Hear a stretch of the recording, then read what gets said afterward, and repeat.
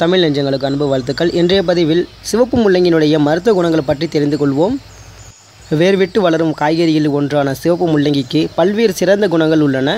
அதன் ஆரோக்கிய பலன்கள் பல்வேறு வகையிலும் உடலுக்கு நன்மை தரக்கூடியதாக இருக்கிறது. மாரடைப்பையும் தடுக்கும். மேலும் இதயம் தொடர்பான நோய்களுக்கு மருந்தாகவும் இது பயன்படுகிறது. அதுபோலவே புற்றுநோய் வராமல் தடுக்கவும் இந்த சிவப்பு முள்ளங்கியானது பயன்படக்கூடியதாக இருக்கிறது. மேலும் நோய் எதிர்ப்பு சக்தியை அதிகரிக்கவும் கண் பார்வைக்கு உதவி செய்யவும் எலும்புகள் மற்றும் தோலை நலமுடன் வைத்திருக்கவும் இந்த சிவப்பு முள்ளங்கியானது பயன்படுகிறது. இரத்தத்தில் உள்ள கொழுப்பின் அளவை குறைத்தல் மூட்டுவாத நோய் கண் நோய் மற்றும் இரத்த அழுத்தத்தை கட்டுப்படுத்துதல் என பல்வேறு நோய்களை தடுக்கும் பாதுகாப்பு கவசமாக இந்த சிவப்பு முள்ளங்கி விளங்குகின்றது. இந்த ஆரோக்கிய பலன்களை பெற விரும்பினால் நம்முடைய உணவில் இதை சேர்த்து கொள்ள வேண்டியது கட்டாயமாக இருக்கிறது. மேலும் இந்த சிவப்பு முள்ளங்கியானது காய்கறி சூப்புகளிலும் சேலடுகளிலும் ரைதா தயாரிக்கவும் பயன்படக்கூடியதாக இருக்கிறது. இதனுடைய சுவையானது சற்று ஓர்ப்பாக இருப்பதனால் ரைதாவுக்காக பயன்படுத்தப்படுவது சிறந்த தேர்வாக இருக்கும். மேலும் நம்முடைய உடலை ஃபிட்டாக வைத்திருக்கவும் எடையை குறைக்கவும் சிவப்பு முள்ளங்கி உதவுகிறது. குறைவான கலோரிகளையே கொண்டிருப்பதால் நிரம்ப சாப்பிட்ட உணர்வையும் உடலை சரியாக இயக்க செய்யவும் உதவுகிறது. சிவப்பு முள்ளங்கியை தொடர்ந்து சாப்பிட்டு வந்தால் பார்வை நன்றாகவும் உடலுக்கு அவசியமான தாதுக்கள் மற்றும் விட்டமின்கள் கிடைக்கவும் செய்ய முடியும். மேலும் இதயத்தை நலமாக வைத்திருக்க விரும்புபவர்கள் சிவப்பு முள்ளங்கியை அதிகமாக உட்கொள்ள வேண்டும். இதில் உள்ள எரிச்சலுக்கு எதிரான தன்மை இதயம் தொடர்பான வியாதிகளை தவிர்க்கிறது. ஃபோலேட் மற்றும் வைட்டமின் பி ஆகியவைகளையும் கொண்டிருப்பதால் இதய மண்டலத்தை பாதுகாக்கும் அரணாக இந்த சிவப்பு முள்ளங்கி விளங்குகின்றது.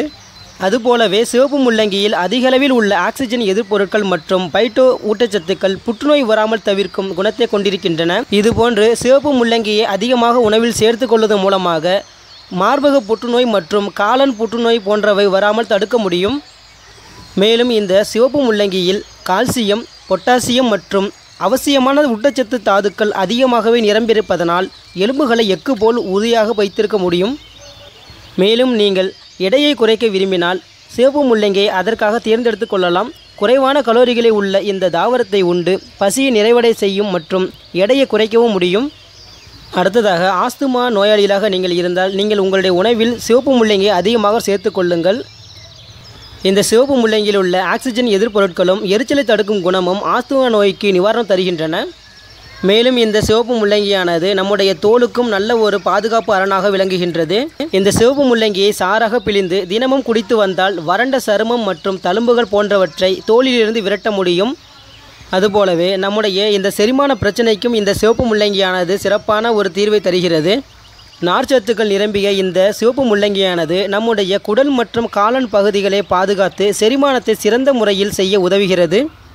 இதுவரை சிவப்பு முள்ளங்கியினுடைய மருத்துவ குணங்கள் பற்றி தெரிந்து கொண்டோம். இந்த தகவல் உங்களுக்கு பயனுள்ளதாக இருந்தால் நீங்கள் விரும்பக்கூடிய ஒரு நண்பருக்கு இதை பகிர்ந்து கொள்ளுங்கள். மேலும் நம்முடைய சேனலையும் சப்ஸ்கிரைப் செய்து கொள்ளுங்கள். நன்றி.